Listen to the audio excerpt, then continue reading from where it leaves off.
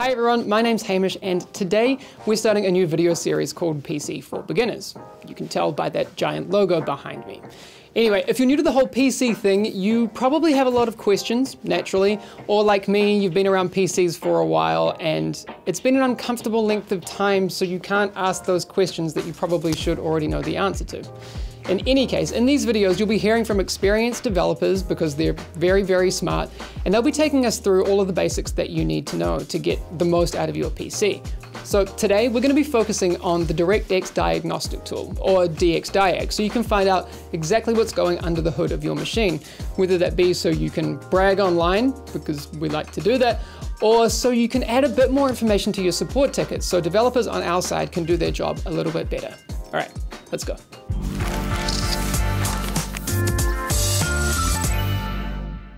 All right, so today we wanted to go over DXDiag. I kind of know how it works, but I thought I'd bring someone in who knows a whole bunch more than I do about PCs and, and the technical side of it. So who are you and, and, and what do you do? I mean, I know, but for the people at home.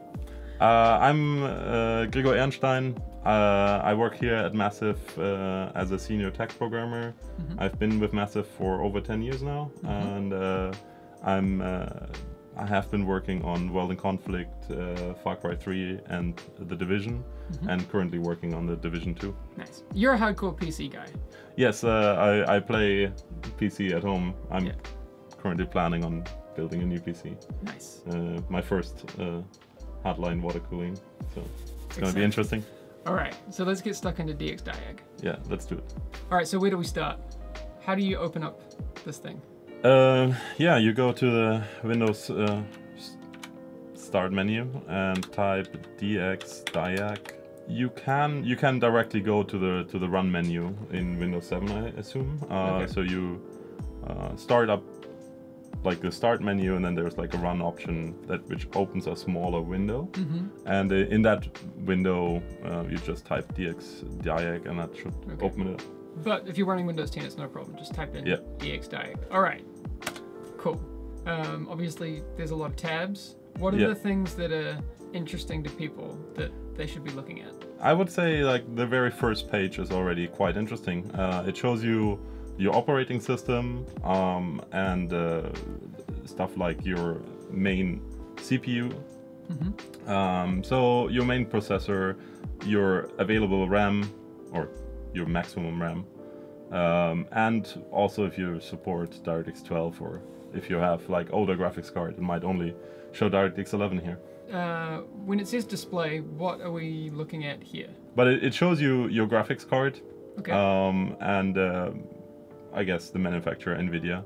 In this case, um, it shows you your uh, GPU memory, the VRAM. Mm-hmm. And can we see anything more interesting? Oh yeah, your current display resolution, which is, and the refresh rate, which can be quite interesting. Yeah, the refresh rate thing is interesting because a lot of, I know that when you set up a new monitor, I set up a, a 144 for the first time, and you know, to make sure it was actually running at 144, like I wasn't entirely sure. Yeah. Um, but you could check in here and. Yeah, this will show you the current uh, refresh rate of your okay. display. So what other tabs do we have here? There's four sound tabs.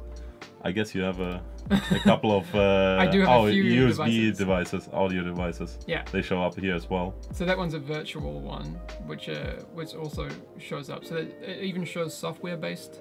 Yeah, uh, like these virtual ones, they for a lot of other programs within the system, mm-hmm. they appear as as if they are hardware mm-hmm. um, sound uh, cards, uh, and therefore this reports them as the system would see it. Okay, cool. So even if it's a virtual one, it will show up. Yeah. Cool. From a developer perspective, why is DXDiag interesting? So often we we see crashes with our software or uh, for very specific people.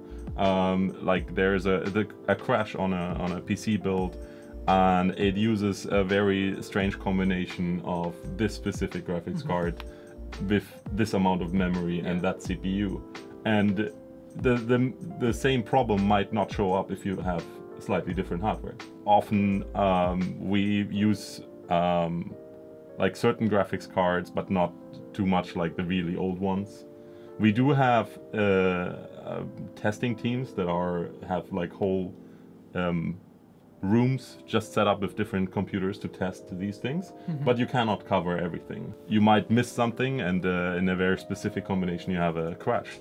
In that case, if you're reporting a crash that is happening for, to you, and it's maybe not that widespread, then always uh, include um, the information from the diag- diagnostics tool. That's what I was going to say. Is um, a lot of people maybe they don't even use DXDiag before they get a question from the support team asking, you know, what GPU are you running, what kind of CPU are you running, um, and if if you've never used DXDiag before, maybe you you know try and open up your PC and have a look and try and find a stamp or, or that sort of thing. But you really don't need to.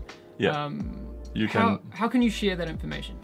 So there's this uh, button here on the on the bottom, save all information, Okay. and it just opens up a, a new dialog where you can choose where to save uh, your TXT file, and by default it will give you already a name, and then uh, you can save it right there. So It's basically a text file with most of the information, or all of the information that you've seen in the uh, UI. I I think the, the easiest way to see it is like we normally, when when it's a crash that we cannot reproduce, then we try to get the hardware that this happened on and try to reproduce it specifically on that hardware. Perfect. Well, thank you so much for uh, the information. I actually, while I thought that I knew all of this stuff, I, I learned a few things. Cool. Okay? Thanks, Yeah, Dan. you're welcome. All right, so I hope you learned something from today's video, but if you feel like you didn't, please let us know if there's something you'd like us to cover that's PC specific down in the comments below. We can find out from developers exactly how things like graphics drivers work, or what should I be doing with my antivirus in 2019, because I have absolutely no idea. Anyway, that's going to be all for today. We'll see you all again really soon for some more PC for beginners.